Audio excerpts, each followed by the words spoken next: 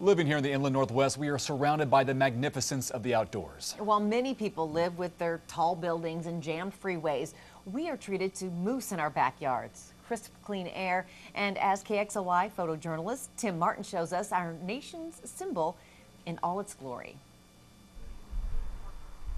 Just came out to do some eagle watching. We've heard there's a lot of bald eagles out here, so we came to take a look. They're here for the kokanee spawn, and the numbers kind of peak with the kokanee spawning, so that's why we have so many at this time of year. We've never seen him before, and so we thought it'd be fun to see an eagle in person. Guys are way high up. I've got a brand new camera and I'm learning how to use it. I just wanted to come out and shoot some eagles that are actually soaring. There was a juvenile who hasn't gotten all his white feathers yet.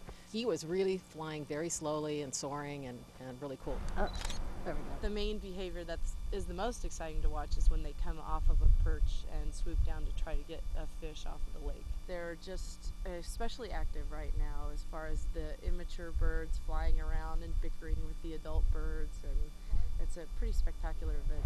Oh, now you see you can't beat that. We've actually seen a lot more than we thought. We were just hoping to see one, and as soon as we pulled into this parking lot, we actually saw several. It's fun to see them fly. It's fun to see them perch. It's fun to see them in their natural habitat.